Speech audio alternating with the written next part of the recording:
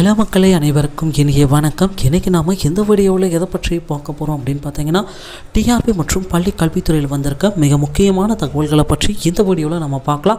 So நம்ம சேனலுக்கு புதியவராக இருந்தீங்கன்னா subscribe and bell all set பண்ணி வச்சுக்கோங்க. நம்ம சேனலில் வர அப்டேட்ஸ் எல்லாமே மிஸ் பண்ணாமல் இருக்க. இது மிகவும் அவசியம். ஸோ முதுகலை பட்டதாரிகளுக்கு உண்டான இரண்டாயிரத்தி இருபத்தி மூன்று அறிவிப்பு எப்பொழுது வள இருக்கிறது? இதை பற்றி நம்ம பார்க்கலாம்.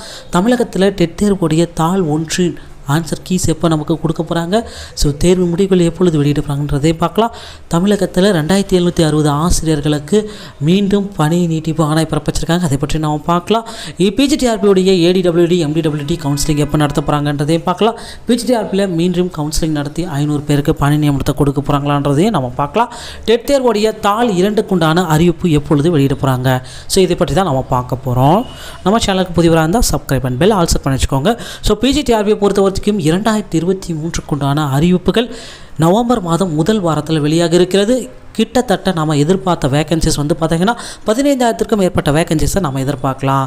ஸோ தமிழகத்தில் டெட் ஆசிரியர்கள் ஆயிரத்தி எழுநூற்றி நாற்பத்தி ஏழு பேர் வந்து பார்த்திங்கன்னா பணி நீக்கம் செஞ்சுருக்காங்க. அவர்களுக்கு மீண்டும் வந்து பார்த்திங்கன்னா பணி வாய்ப்பு கொடுக்கறதுக்கு பள்ளி கல்வித்துறை போராடி வருகிறது. ரெண்டாயிரத்தி எழுநூற்றி அறுபது பேர்களுக்கு வந்து பார்த்திங்கன்னா அவர்களுக்கு தற்காலிக ஆசிரியர் பணியிடங்களை ஒர்க் பண்ணுறவங்களுக்கு மீண்டும் பணி நீட்டிப்பும் செஞ்சுருக்காங்க. ஸோ தமிழகத்தில் டெட் தேர்வுக்குண்டான அறிவிப்பு தாள் இரண்டுக்குண்டான தேர்வு தேதி விரைவில் வெளியிட போகிறாங்க நீங்கள் இப்பொழுது இருந்தே ப்ரிப்பரேஷன்ஸ் எல்லாமே ஸ்டார்ட் பண்ணிக்கோங்க.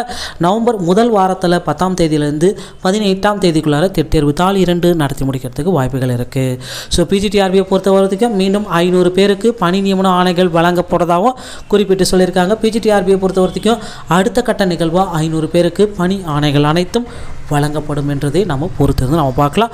ஸோ நிச்சயமாக பிஜிடிஆர்பியில் அடுத்து ஐநூறு பேருக்கு பணி நியமன ஆணைகள் வழங்குறதுக்கு வாய்ப்புகள் இருக்குது so PGTRB ADTWD MDTWD DTWD corporation counselling எல்லாமே தேதிகள் இந்த மாத இறுதிக்குள்ளார அக்டோபர் முப்பதுக்குள்ளார இதற்குண்டான கவுன்சிலிங் தேதிகள் எல்லாமே விரைவில் வெளியிட போகிறாங்க தயாராகி கொள்ளுங்கள். ஸோ இதன் அடிப்படையில் பார்க்குறப்ப பிஜிடிஆர்பியோடைய இரண்டாவது கட்ட சிவிலிஸ்ட்டு விரைவில் உங்களை நோக்கி வந்து கொண்டிருக்கிறது.